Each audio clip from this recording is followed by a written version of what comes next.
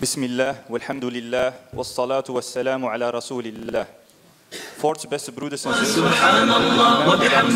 een preek over de tawhid en over de aqida van, een mo- van de moslim. Wij horen hier als beschermers van de tawhid te zijn, van het ware monotheïsme.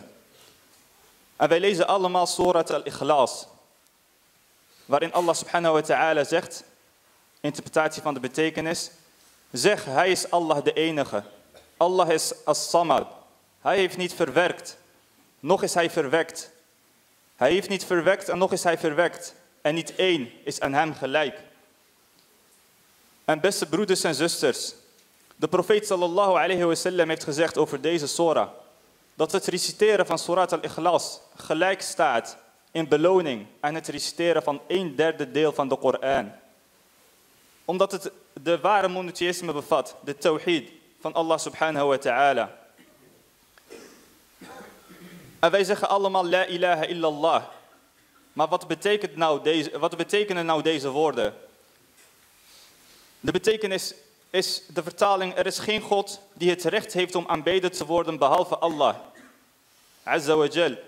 Maar deze zin of deze uitspraak, deze getuigenis heeft ook voorwaarden, beste broeders en zusters, die velen van ons niet weten. En de eerste voorwaarde van la ilaha illallah is dat je kennis hebt over deze zin, deze uitspraak. Men niet te weten wat de betekenis is van la ilaha illallah, zowel het bevestigende als het ontkennende deel ervan. In Surat Mohammed staat, weet dat er geen God is dan Allah en vraag om ge- vergeving voor jouw zonden. Een tweede voorwaarde is overtuiging. Men dient overtuigd te zijn van het feit dat alleen Allah het recht heeft aanbeden te worden. En een derde voorwaarde is toewijding. Men moet alleen Allah aanbidden, zonder hem enige deelgenoten toe te kennen. En een vierde voorwaarde is oprechtheid. Men dient de daden bij het woord te voegen. Als men dus beweert te geloven, moet dit niet slechts bij lipdiensten blijven en moet zijn hart zich ook hebben overgegeven aan de eenheid van Allah subhanahu wa ta'ala. En een andere voorwaarde van la ilaha illallah is de liefde. Men die de getuigenis af te leggen met liefde voor Allah, zijn profeet, vrede zij met hem. En de betekenis van deze woorden. En het bewijs, bewijs hiervoor is in de volgende uitspraak van Allah subhanahu wa ta'ala. En onder de mensen zijn er die naast Allah deelgenoten nemen. Die zij lief hebben, zoals zij Allah lief hebben. Maar degenen die geloven zijn sterker in hun liefde voor Allah. Een zesde overgave is, het zesde voorwaarde is overgave. Men dient alleen Allah te aanbidden en zich over te geven en te geloven in zijn wetgeving. Zeven is aanvaarden. Men dient de ge- de getuigenis te aanvaarden. Dit houdt in dat men dient te aanvaarden dat alleen Allah aanbeden mag worden en niets of niemand anders. En natuurlijk is er meer verdieping in deze voorwaarden, alleen hebben we daar geen tijd voor om nog dieper hierop in te gaan.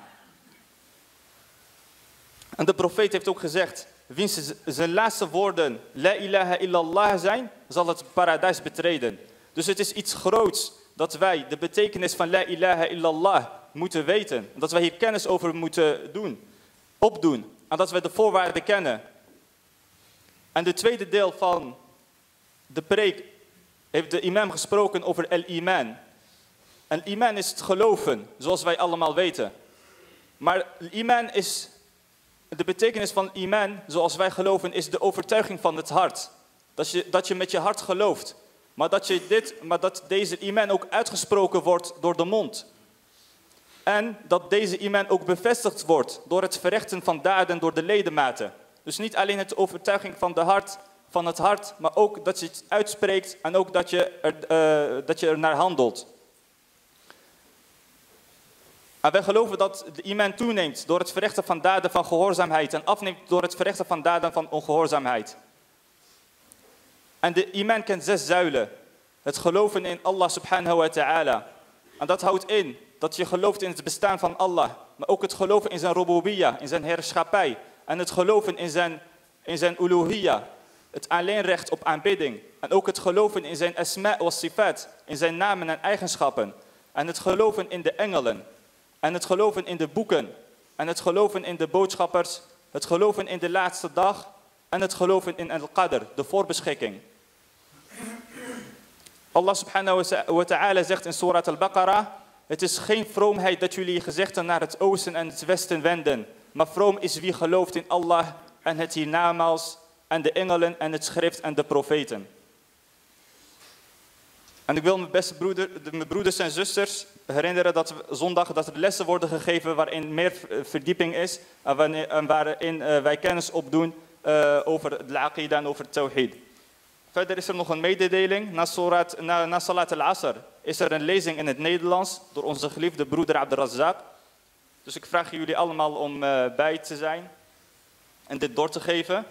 En tevens is het de laatste vrijdag van het maand en zullen we geld inzamelen.